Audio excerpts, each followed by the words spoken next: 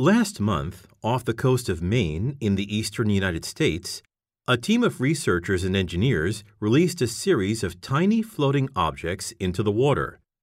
The team called them buoys, but they looked more like a packet of uncooked ramen noodles glued to green ribbons. They had only one role to go away and never be seen again. With any luck, their successors would soon be released into the open ocean, where they would float away absorb a small amount of carbon from the atmosphere, then sink to the bottom of the seafloor, where their remains would stay for thousands of years. The team is trying to create a business model. They work for a company called Running Tide, which claims it can remove carbon dioxide from the ocean and atmosphere through the magic of kelp. Running Tide is one of a series of carbon removal companies that have appeared over the past few years with the hope of taking heat trapping pollution out of the atmosphere and locking it away for centuries. The most famous companies, such as Switzerland's Climeworks or Canada's Carbon Engineering, perform direct air capture using common industrial processes to chemically clean the air of carbon.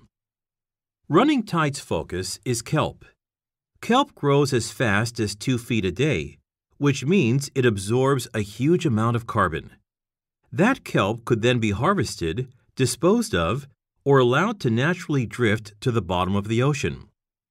It seemed like the perfect natural tool to absorb carbon from the ocean and atmosphere. But that made me suspicious. The idea that humanity could remove carbon dioxide from the atmosphere by growing kelp just sounded too good to be true. So I was pleasantly surprised when I met the leaders of Running Tide earlier this month.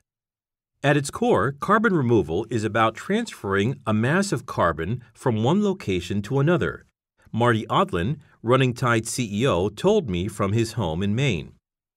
The key issue is how to transfer the hundreds of gigatons of carbon released by fossil fuels from the fast cycle, where carbon moves from fossil fuels to the air to plant matter, back to the slow cycle, where they remain locked away in the earth for thousands of years.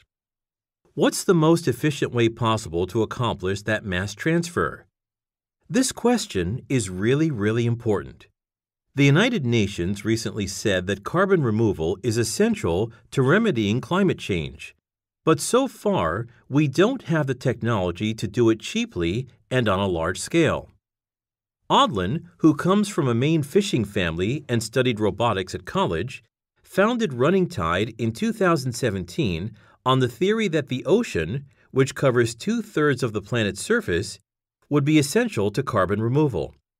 At least for now, the key aspect of Running Tide's system is its buoys.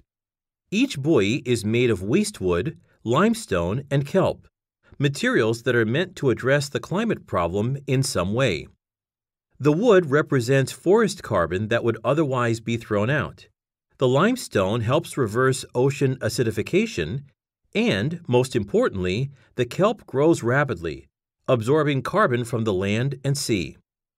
Eventually, the buoy is meant to break down, with the limestone dissolving and the wood and kelp drifting to the bottom of the seafloor.